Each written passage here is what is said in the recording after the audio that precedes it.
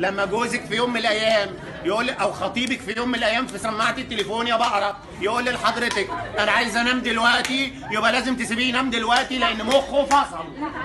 فصل. لا كلمني. أنت هتنام وتسيبني كلمني.